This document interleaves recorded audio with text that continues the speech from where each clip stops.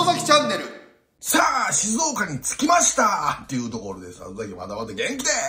すね。ということで、もう、あの、エナジードリンクを飲んで、なんかもう、無駄にハイテンション。なのでですね、もう、あの、寝ないで、総チェック取ります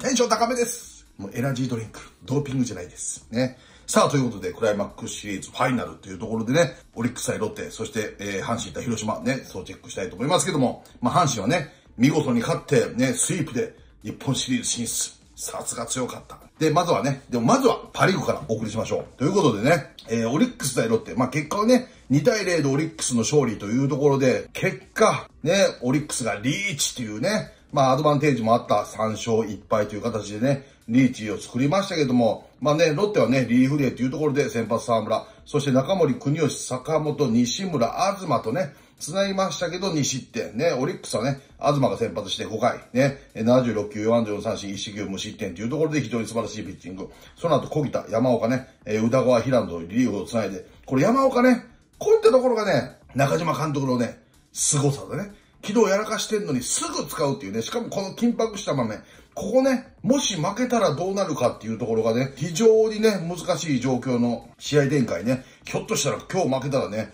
オリックスね、ロッテに思いっきり逆転されてね、クライマックスシリーズ負けちゃうぞっていうね、負けちゃうぞだね、負け、負けちゃうぞね、っていうね、可能性があった中でね、この山岡をまたね、しっかりこのね、厳しい状況の中で使い切るっていうね、采配も素晴らしいし、その山岡もね、まあ、デッドボール1個ね、与えちゃったけどもね、この7回ね、ワンアウトから、でもそこをね、しっかり、あと後続を切ってね、えー、抑えたっていうところではね、非常にまた今後もね、日本シリーズに向けてもいいね、戦力になっていく状況になったんじゃないのかなっていうところでね、この中島監督の采配っていうところも素晴らしかったかなと。これね、まああの、振り返っていくとね、まあ初回のね、攻防っていうね、いきなり動き出したけどもね、えー、初回ね、ロッテもワンアウトからね、藤岡ヒット、角中フォアボールでね、チャンス作った中で、ポランコ安田がね、一本出ずっていう、ここがね、一本でも出てたらね、ひょっとしたらねっていうところもあったけども、初回ね、いい形でここまでね、ロッテも先制してきてたけど、ここ先制しきれず。でね、えー、ロッテ先発ね、沢村。ね、いきなり中川ヒット、そして、えー、森、杉本フォアボールで、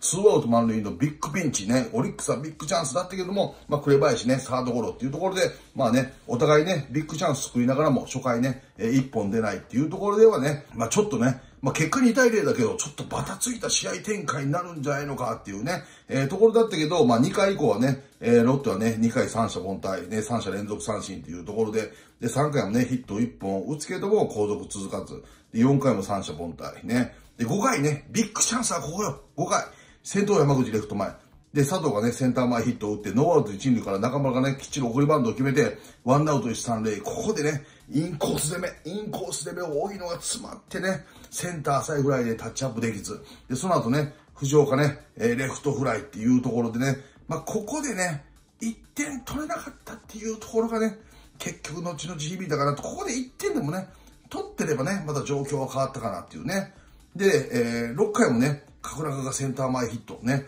その後ポランコがスアウトになるけども、岡フォアボール、ツーアウト一塁からね、山口サードゴロっていうね。だ結構ロッテもね、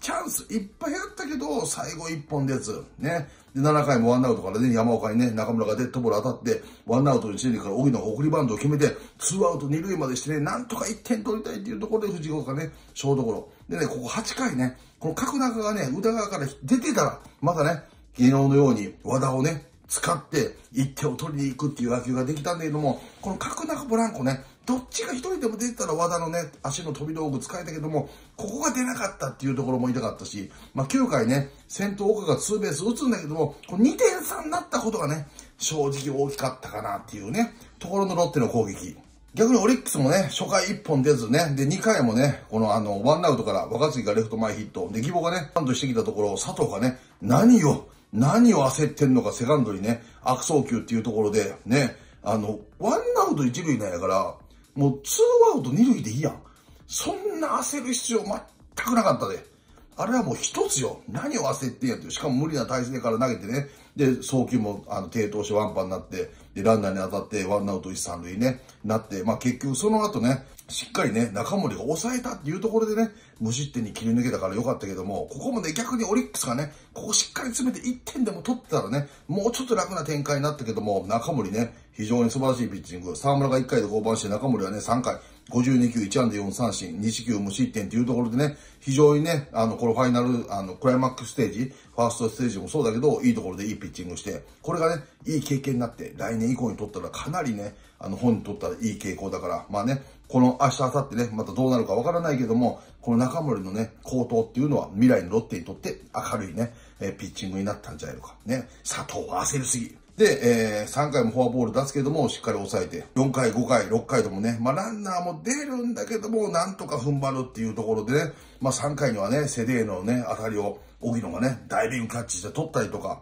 5回にもね、えー、ツーアウト一三塁からね、ピッチャーライナーね、国吉が取ったりしながら、ね、で、まあオリックスもね、5回だね、藤岡のツーアウト二三塁からのね、レフトフライを杉本がダイビングキャッチしたりとか、お互いね、フォアボールとかデッドボールとかね、エラーとかね、いろいろもあったけども、ね、逆にね、守備面ではね、非常にね、素晴らしいプレーもあったしね、この、なんとかね、1点を塞いでいくっていうね、両チームのピッチャー陣のね、素晴らしいピッチングっていうのもあったからね、非常にね、お互いね、切磋琢磨しながらね、痺れる試合展開になったけども、これね、最後には8回ね、ピッチャー坂本から西村に変わって、杉本のね、レフトのツーベース。これがね、レフトバウンドがね、大きく弾んだところを杉本が見逃さずね、セカンド行くんだけど、あの判断ね、あのセカンドまでの走塁っていうのは非常に素晴らしかった。でね、この紅林、ね、なんとかして、ダイソーダが出てきたけど、なんとかして進塁だね、うとっと気持ちは出てたけど、最後西村のフォークね、若干バットのヘッドが返って、ショートゴロっていうところで、ここはでも何としてでも進塁打打たなきゃいけなかったね。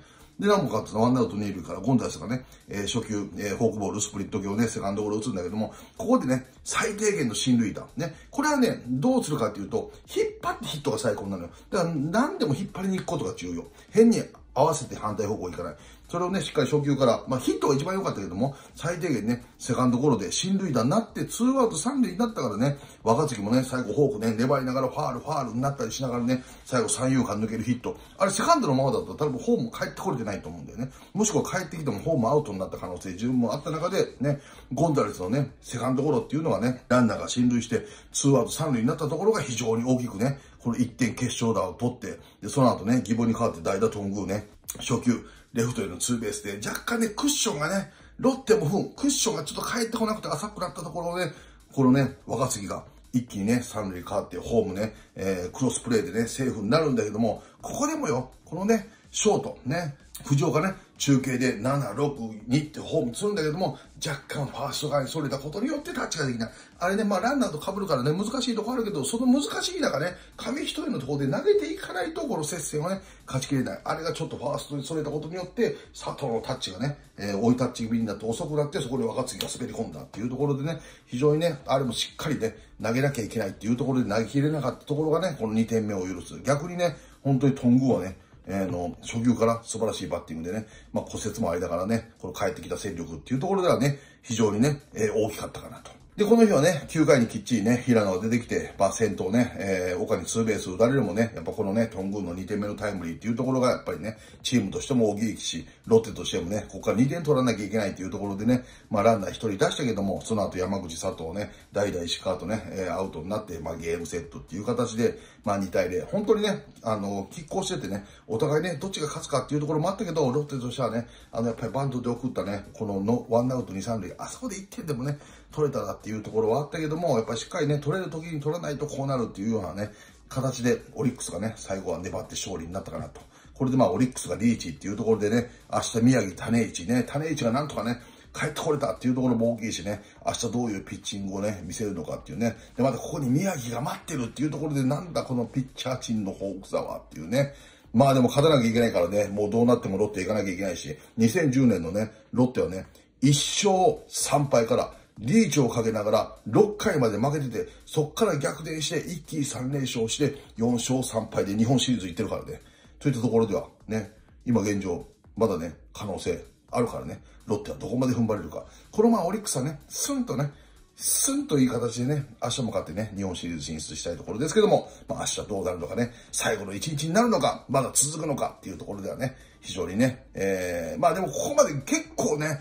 際どい試合で来てるからね、ロッテも勝てないね、試合してないだけにね、まあどうなるのかね、楽しみですね。さあそして続いてね、阪神対広島4勝2敗で阪神の3連勝でスイープっていうね、えー、形で阪神のね、えー、日本シリーズ進出が、ね、決まったわけなんだけども、ね、えー、阪神先発ね、えー、大竹、満を持してね、まあ、5回105球、7打3三振、1球に失点。で、そこからね、えー、桐地家の2イニング、ね、無安打、ね、3奪三振。で、岩貞、石井、島本とね、えー、細かいリレーで繋いで、最後岩崎がね、しっかり抑えて、まあ、2失点でね、非常にね、いい形の戦い。で、広島先発はね、床田。えー、6回105球、5安打2三振、3四球3失点っていうところで、まあ、なんとか踏ん張ってたけど、踏ん張りきれずっていうね、その後矢崎がね、押し出しのフォアボール、で、大道島内っていうところでね、まあ、終戦っていう形になったんだけども、まあ、この日もね、4回表ね、2アウトからね、上本がツーベース。でね、で、秋山がね、内野安打、ボテボテのところね、あれはまあ、無理だね。でもこれ上本のツーベースもね、ノイジーね、あれ止めなきゃいけなかったよ。ヒットは仕方ないけど、あれ後逸したことによってツーベースでね、で、最後ね、坂倉がインコースの難しいところを詰まりながらだったけども、ライト前に落としてね、この先制のタイムリーヒットになるんだけども、この上本のね、ツーベースはちょっと痛かったかなっていうね。で、ここでね、広島が先制して、でもそのすぐ後にね、あの、4回裏にね、中野が今度ね、まだあの、秋山に負けじとね、ちょっとポンポンみたいな感じでいいところに転がって内野安打。で、森下アウトになるけども、大山フォアボール。で、佐藤アウトになるけども、ツーアウト一塁からノイジーがね、さっきのミスはごめんねっていう形でね、アウトコースのね、結構コースは良かったけども、ツーボール、ツーストライクからね、反対方向。もうあれはもう逆に引っ張りにかかってないね。センターから逆っていうところを狙ってたことによって、えー、ライト前ヒット。で、その後ね、坂本が初球、インコースのストレート、これ結構いいところだったよ。それをね、カーンとくるっと回ってね、え、完璧にレフト前ヒットっていうところで逆転。ね。でも広島もね、すぐ取られたと5回の表にね、え、菊池のセンター前、ノマアウトになるけども、小園が繋いで、堂林がね、レフトの犠牲フライで同点になって、ここら辺ね、まだ終わらせないぞっていうね、広島の気迫も出てきたけども、6回の裏ね、えー、2アウトから佐藤センター前、で、ノイジーフォアボール。で、ここでね、2アウト1塁から7番坂本がね、今度アウトコースになったやつがインコース逆球来るんだけど、もうインコースは来ないんじゃないのかとね、センターから反対方向ね、えー、意識し、てる中で2ボール2ストライクだったし、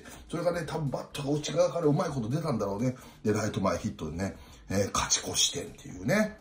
だから結局ね、カープなんで7回にもね、矢崎がね、えー、木浪のレフト前、ドバタ高級バンドを決めて、えー、近本がね、一塁空いてるから敬遠。で、中野フォアボール、森下フォアボールっていうところで、三四死球でね、押し出しで1点取られて4対2っていうね、ところで、今日もう全てにおいてね、4回裏もそうだし、6回裏もそうだし、7回裏もそうだし、全てね、フォアボールが絡んでんのよ。それで失点してんだよ。だからもう、逆に言うとね、この今年、阪神がね、もうやってきた野球をそのままクライマックスシリーズでも阪神はしたと。フォアボールをしっかり選んでね。で、もう一本欲しいところで必ず出るっていうね。昨日は北見がキーポイントだったけど、今日は坂本っていうところがね、キーポイントでね、非常にいいパッティングで繋げていくっていうところでは、このクライマックスシリーズになっても、1年間やってきた阪神の野球っていうのが、こういうね、勝負どころでもできたっていうところが、まあ、強かったなっていうところだし、逆にカープはね、この3連戦、チャンスはね、多分カープの方が阪神よりも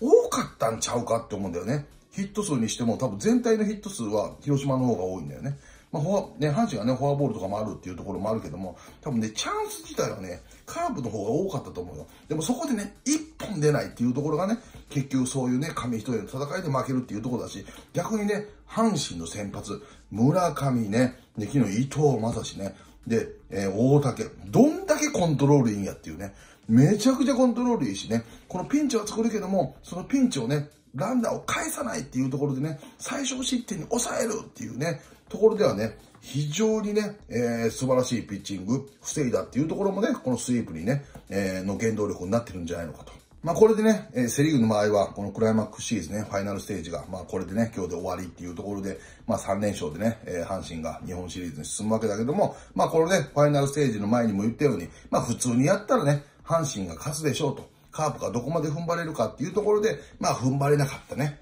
結局は。まあでもね、まあ1年間カープでね、こう戦ってきて、まあ多くの解説者がね、最下位5位予想が多い中でね、まあ佐々木は優勝予想をしてましたけどもね、もうちょっとできるかなってね、正直思ったけども、カープファンの皆さんどうですか？まあここまでね、え来れたっていうところで、まだこれはね、来年に向けての宿題っていうところで、足りないところはね、いっぱい分かったんじゃないのかなと、このクライマックスシリーズ戦ってもね、その足りないところっていうのはまたね、え YouTube で12球団でね、今年1年間の反省会っていうところをね、各チームに分けてやるんでね、そこら辺はまたね、えー、その動画をね、チェックしてもらいたいと思いますし、タイガースはね、もう全然、胴上げから遠ざかったとか、ファーストステージがなかったことによって試合間隔空いたとか、全く関係ない。もう2005年のような感じ、全く1ミリもない感じで、完璧なね、試合展開。特に投手陣良かったね。だから打撃はね、ちょっとまだ寂しいなっていうね、ところがあったかもわかんないけども、そこはね、まあ、ここからね、日本シリーズ向けてどういうふうなね、えー、調整をしていくかっていうところで、まあ、近本もね、えー、中野も打率がね、えー、9分1厘となかなかね、打ててないっていうところと、まあ、大山も1割1分1厘、佐藤輝佐藤輝もね、1割6分7厘っていうところで、非常にね、えー、打撃面でおいては、ちょっとね、えー、苦しいね、あの、状況だったけども、その打撃陣が苦しくでも、投手陣がしっかりね、えー、それをカバーしてリードして少ないチャンスをね、ものにしていく、フォアボールを取っていく、チャンスメイクしてそこで一本出るっていうね、勝負強さっていうのがこのね、ファイナルステージでもタイガースはね、非常に素晴らしい、えー、戦いだったと思います。ということでね、阪神タイガースファイナルステージ進出、ね、えー、おめでとうございます。日本シリーズね。相手がどこになるのか、2005年以来のロッテなのか、それもしくはオリックスで関西ダービーなのかっていうところはわかりませんけども、パリーグはね、引き続き、えー、解説していただきたいと思います。ということで、佐々木の総チェックもおしまいですもう佐々木これで寝ますね。今日一日長かったですけど、皆さんお疲れ様です。もう、口も回ってへんわ。もうね。ということで寝ます。ね。佐々木の政治、そう。佐々木の総チェックこれでおしまいです。それでは。